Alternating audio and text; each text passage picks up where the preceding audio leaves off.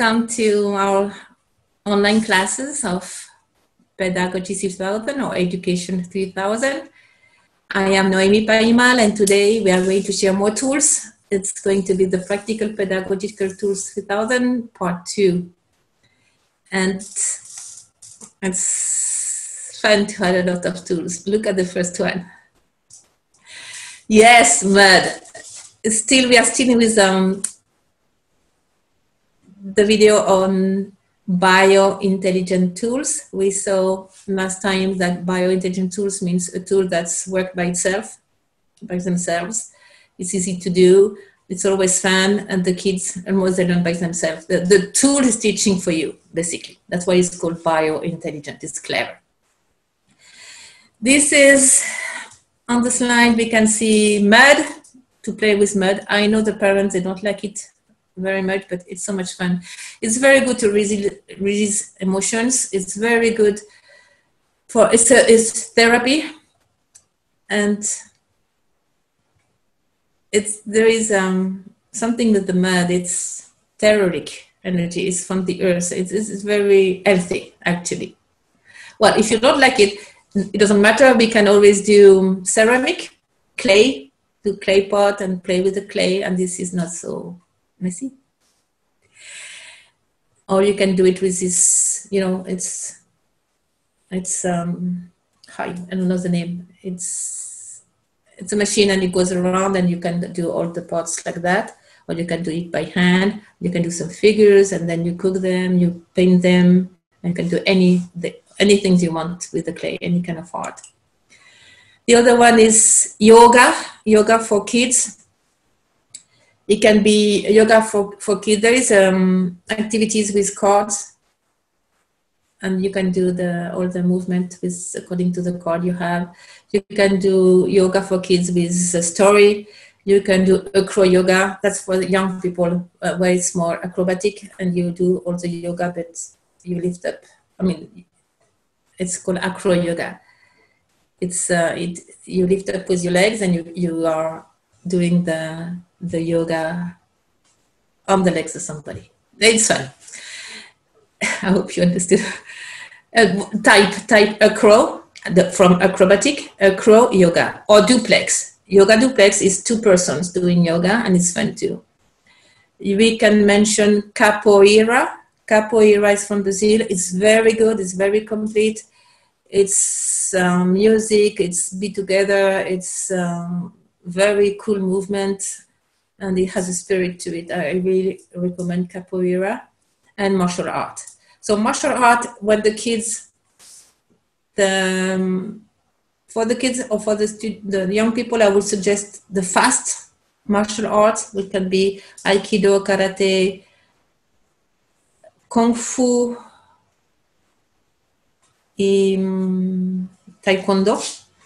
For the adults, like the teachers, the parents, maybe something softer like tai chi or qigong. That's very good. You, you can really see the difference. A kid that does martial art is more coordinated, is more respectful to the tradition, to the teacher, to the companions, to the peers, and um, is open to multicultural things like he will know. Usually, they know some Chinese, some Japanese, you know, to count they are more balanced, I would say.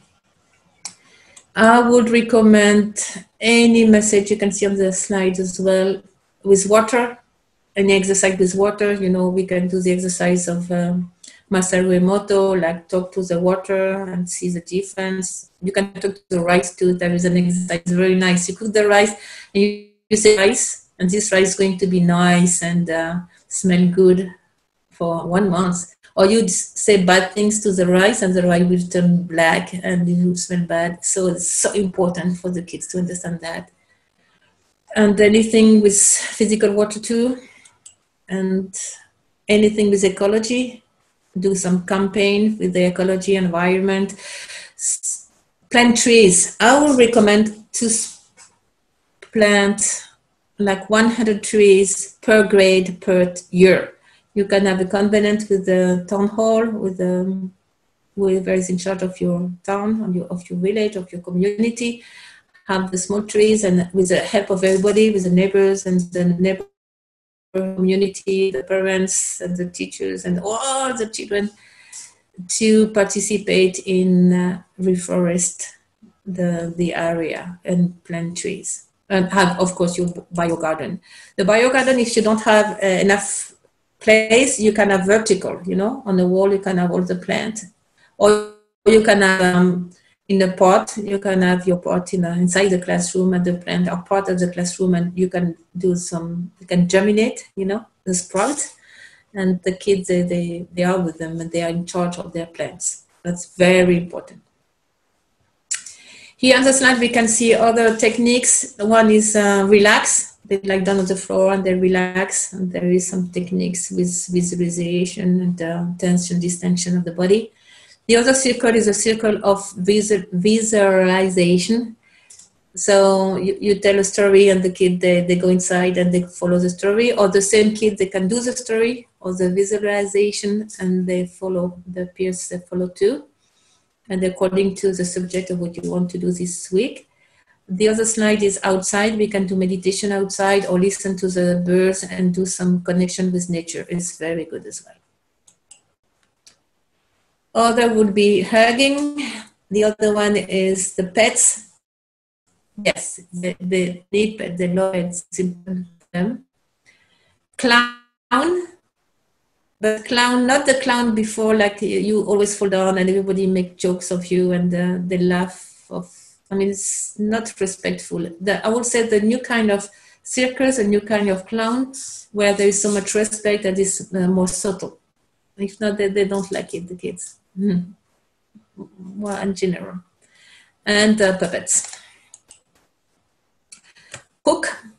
Cook for boys and girls and wash the dishes. Boys and girls as well. And cooking is everything. It's love it's social issues it's art it's physical physics chemics math proportion equation uh, what's the name of it? Fractions. And it's very good. It's very important in their education and to weave it's very good. Remember to weave it will help with this neurotransmitter transmitter called irisina, irisina, or irisin, irisin. And it's completely linked with the learning process. It's when you discover things, when you realize something, when you, oh wow, I found something. It's linked, according to science, it's linked with a regular movement. It can be, it can be to weave, to swim, to run, to walk, the five senses. So there is a lot of exercise to enhance the five senses. And this is very good from very little. So they can walk on different textures, they can go through a piece of clothes and they can feel the, the, the, the fabric, the anything with the earring, touching, sight, taste, smell. Always nice stuff. Don't put paper and hot, I don't know, something terrible it has to be nice and then this, the senses gets more subtle and then there is a correlation. If you have your sense developed outside it will develop the sense inside. It's extremely pedagogical. At night go outside at night to camp. Yeah to camp is extremely pedagogical and therapeutical and very good for social relationship for inter personal intelligence. And the kids, I remember only that when they go out, actually. Yeah, and if you can't camp outside because of the insurance and the whatever security problem you have with the school, maybe you can camp inside the school in the patio, and it's it's, it's good too. It, it, it really changes the the ambiance, the the relationship, the atmosphere. It's beautiful, and you camp with them, of course, somewhere and uh, you spend a, a fun night, hopefully. and they would remember that. Oh, they, they, and then they, you, we all do the breakfast, and the director of the school would bring the breakfast to And uh, you can do wonderful things. I saw that in many schools, and when they do it, it's they never regret, never. Go outside. The ideal situation would be go outside once a week at least in the town, the community to see something from real life every week. That would be the, the best. Or do an, a research or have somebody talking about a special subject topic. Once a month, I would suggest do a trip inside the country to know somewhere else, and one once a year to go outside of the country to do an international trips and maybe to do fair and some activities to raise the money so they learn fair economy by the, the same time. And um, this is, uh, according to me, it's the most pedagogical, pedagogical thing to travel and to know things from first hand. And it would help with languages and it would help with social science. It would help with the future when they want to do something, they, they know how the, this world is working. And it's full for multicultural approach and for peace culture. On this picture, these guys, they did a trek. It was, oh my God, it was one week trekking. It was 60 kilometers, six zero. And we had to go to a pass. It was 5,000 meters. It was the Andes and they did so well. I mean, those kids they changed completely after this trek. I mean, there was a girl; she was kind of lazy. After that, she was so strong. She was so adamant. She was like, you know, when you have um, strong will, will. I think yes. She she changed completely. She there was another girl. Uh, yes, they were tired, but they were so proud because they did it, and it was very for stamina to be to be um, mm, when you have strong will, when you, you want to do things, it builds character in English. Yeah, it builds character. Thank you. Then um, again, go at night. Here you can see the. It was a visit of an archaeological place in Paraguay, and uh, it's good because at night you you have to face um, darkness, and it's outside darkness, but it's your own fear as well. So it's very good to for the pedagogical process of human being. And sometimes the kids they are they don't know the night, and the night is half the the other half of the time. Or the other slide is uh, we were at the beach in Peru, and uh, it was in circle, and we had the fire, and we had the wind, and you have the sand and the earth, and we had the water. It was by the sea, by the way. So all the elements were there, and we can work with the five elements. The fifth element is ether, and it's very good it's very pedagogical you know the kids sometimes they are separated from bathing things like fire air touch the the, the sand the soil the, the, the earth the water no you're going to get wet and so what they, they, it's it's very important it's part of the, the planet and they, they know how to take care of that after that you see and it's beautiful and it was a beautiful night with many surprises um, to cook outside. This is part of the camping part. And there are architecture. Uh, no, I'm sorry, archaeology. If you have the chance to go on the site, a real site of real archaeology, and uh, talked with the archaeologist, mm, the person working with archaeology, do some um, excavation with the expert, of course, it will make archaeology alive. It will make history alive. It will make remote history alive. See, uh, one, two piece of advice: don't go to battlefields because some sensitive kids they can have a very bad time and not more. And don't go to museum where the energy is very low and it's all dusty and old and old, because it's so low that the kids they they don't like it at all. They prefer outside and do something active, or a movie in that case if you can't go to the field. After the biointelligence tools, we have a set of tools, and it's called biomorphic pedagogical tools. Biomorphic tools is completely different. It's, it, it has to do with intuitive intelligence. And uh, I don't recommend you to do too much. It's like five, ten minutes. It's like, for instance, um, telepathy or to guess what's it's more like energetic like you can have a box of um, little balls of colors colorful balls and then you close your eyes and you try to figure out which one is you close your eyes and you figure out which one's a green ball and you take it out and say oh this is green or reverse you can ask pick up the red ball so they can feel it's called dg sense or dg reading it's reading through the skin and they can figure out colors. They can figure, like here we can see they do chords. So, you know, when you pair up cards, it's called the memory game. But in that case, the card, you don't guess. You feel this card has the same energy as this card, and you flip over, and they are the same. So it's not a guessing game, it's called extra sensory perception game. I want to mention Dr. Shichida when he talks about the kid and um, this kind of biomorphic tools and capacities, I would say paranormal capacities or empathic intuitive capacities. Dr. Shichida said that years ago, he was talking about this. He was saying, more than children reasoning as Homo sapiens, and I do think the same as well. There are children whose sensitivity is so acute that they can perceive feelings, what one thinks, what you are going to ask, the atmosphere of a place, the past, the future, what is happening at the physical level, affective level, mental, and astral level. And they are able to simultaneously work in all these levels. So that's open another array of tools, and that's why we call that biomorphic tools linked to extrasensory perception. And um, talking about that, it's good to take the children in places with a lot of negative ions. Negative ions are placed very with very fresh air, very pure, when they can refresh their entire bodies, and I say bodies with an S, physical bodies, emotional bodies, intuitive bodies, spiritual bodies.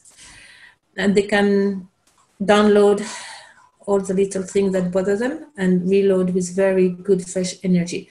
And it's called places with a lot of negative ions like a waterfall, beach, um, seaside, lake, non-polluted rivers, and uh, well, in that case, in the slide is a beautiful waterfall of Iguazu, Brazil.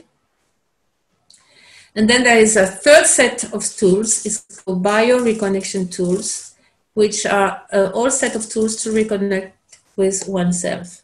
And in the seven petal school, this will correspond to the petal, the violet petal.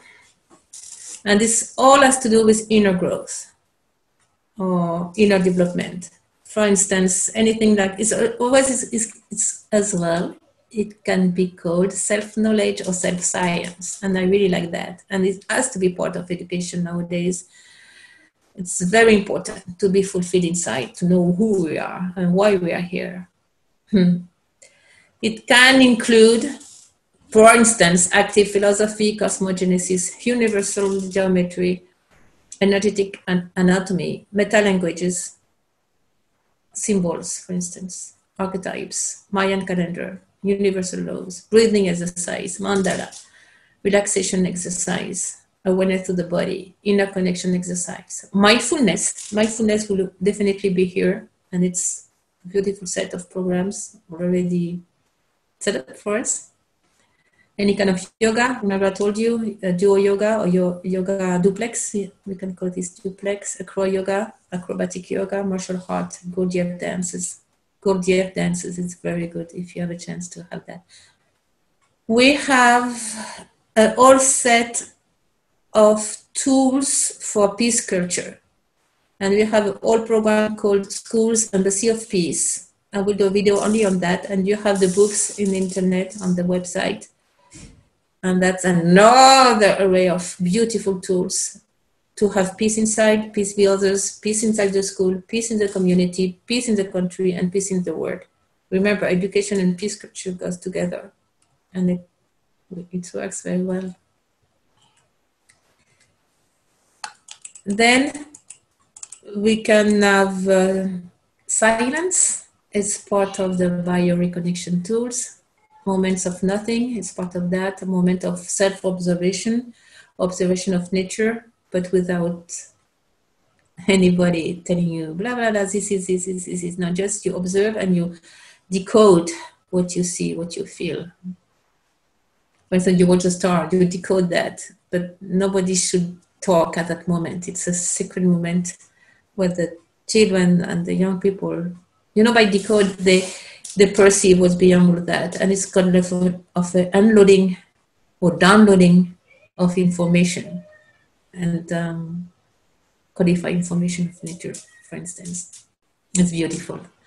It's called a conscious observation in silence. Then we have tools for babies. Don't forget the babies. Sometimes, oh, they're just babies. They don't need anything. Uh, uh, uh, uh. Babies are extremely important. The six first months are crucial. I do recommend this book. It's called Continuum from Jean Liedloff.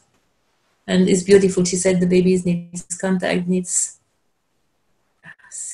to feel safe. A baby should never cry, for instance.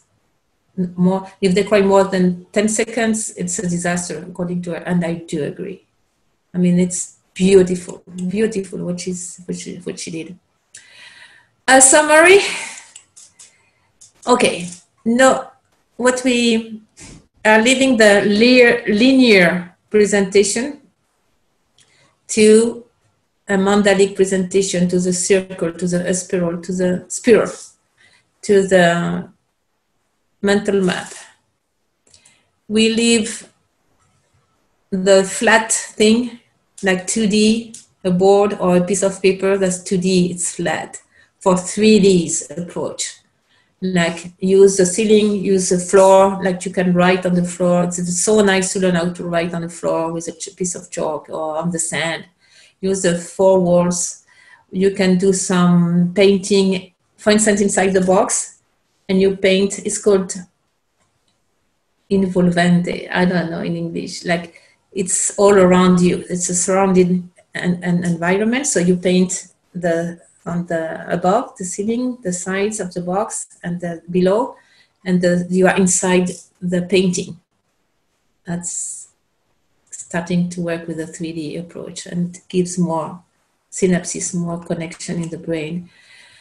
Switch all the ugly sounds from the bell to the many sounds in um, the bad acoustics of the um, dining room where they eat. For nice sounds as well if you have, have the chance to have loudspeaker around you it's called uh, uh, surrounding sound. And appreciate silent moment and silent places like you can have a silent room or do walk in silence it's very pedagogical. From being still and don't move for eight hours, uh, uh, glue on a chair. This is impossible. Now it has to be movement, movement, movement, movement. Remember, endorphin, serotonin, dopamine, all that is through movement and motivation. From uh, dirty colors like gray, brown, to vibrant colors, beautiful colors, and light from the sun, good lighting, or indirect light if you have to use artificial light.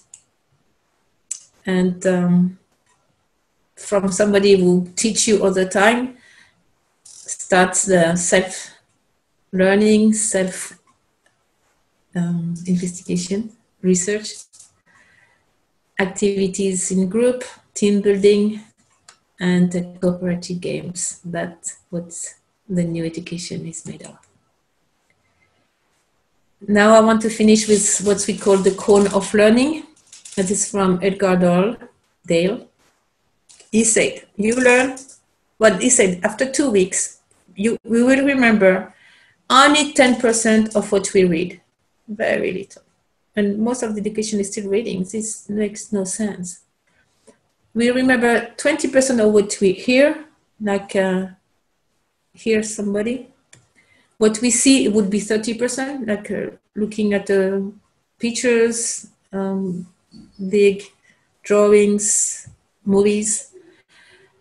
50% of what we hear and see. So an exhibit, a demonstration, do something, do the experiment yourself. What we say and participating in a discussion, giving a talk would be 70% and 90% would be what we both say and do, like theater, dramatic presentation, simulating a real experience, doing the real thing.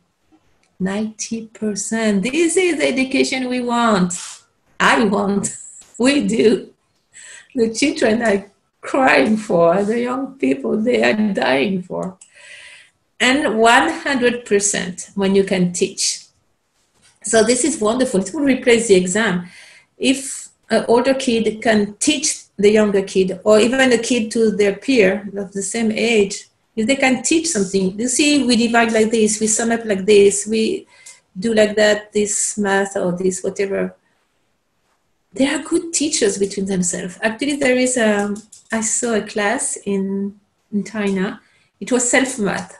They were learning math between themselves. And there was a teacher in the corner just enjoying himself. And they were asking me something if they, they were stuck, but the teacher was not teaching the class and they were flying with math. They were doing so good. It's called self-taught math.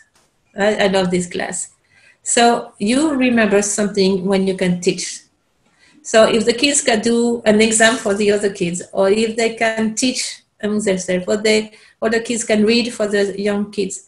I mean, this is the most pedagogical things, and this is a long-term memory, and it's pure helping each other and cooperation, and that's the new education we do what.